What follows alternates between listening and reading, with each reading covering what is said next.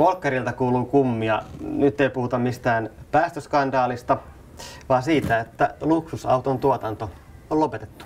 Joo, semmoinen jättiläinen, mä en tiedä miten se pitäisi sanoa, Faeton tai mm. jotain tällä tavalla näin, niin tuli Dresdenin tehtaalta viimeinen noin kuukausi sitten, eli 18. maaliskuuta. Mm. Okei, okay, tämmöisen maalin lopetus tai jäähylle laittaminen, niin mm. niin tota, kuvastaako tämä jotenkin yleisellä tasolla sitä, mitä Volkkarilla on tapahtumassa? Voi olla, voi olla, että ei. Ainakin siinä on semmoinen kontakti Volkkarin menneisyyteen, kun Ferdinand Piihän oli vahva mies siellä ja tämä oli hänen lempilapsensa, kun hän oli sitä mieltä, että Volkkarillakin pitää olla S. Mersun haastaja. Mm.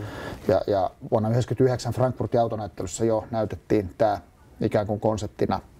Ja Piih on jälkikäteen kertonut, että kollegat eri saksalaiset autotehtaalta kovasti taputtivat kehu tätä autoa ja Piih on nyt jälkikäteen ollut sitä mieltä, että se oli pelkkää vedätystä. Ja ne mm. niin panetteli häntä. Mm. Ja näitähän ei taidettu monta valmistaa. Tämä on aikamoinen harvinaisuus. On. Et Pi suurellisena miehenä kuvitteli, että 35 000 autoa vuodessa ja 15 vuodessa nyt sitten kuitenkin valmistettiin vain 84 000 autoa, että ei se nyt kovin suosittu malli ollut. Mm. Ja nyt vielä tämä tuotantolaitos, joka rakennettiin mm. tätä mallia varten, niin se onkin muutettu sähköautojen kyllä, mikä kyllä. on osaamiskeskus. Osaamiskeskus tai muuta sellaista. Se oli hirveän hieno tehdas, joka jäi ihan tyhjille. Mm.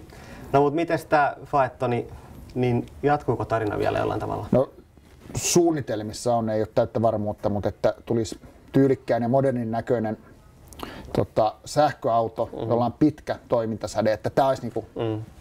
seuraaja. Ja sitten tietysti tämmöinen loppuhuomio, että tämän mallin kohdalla niin kannattaa aina muistaa, että tullasilla on tämmöinen miten jännä kiinnekohta tähän autoon. Niin kyllä. Tässä kohtaa mä voin vaihtaa, että mehän sanottiin sitä aina Pyyttonista tätä autoa. Että Pyytton, joo.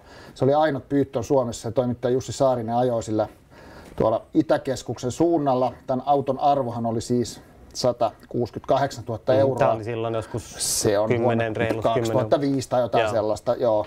Ja tota, siinä kävi sitten niin hassusti työmatkalla, että vasemmalta punaisia päin tuli sitten joku Honda Civic ja tämä hieno pyyttö tuhoutui. Mm. Ja koko tarinaa voit lukea tuollaisen netistä, linkki löytyy meidän videoikkunan alapuolelta.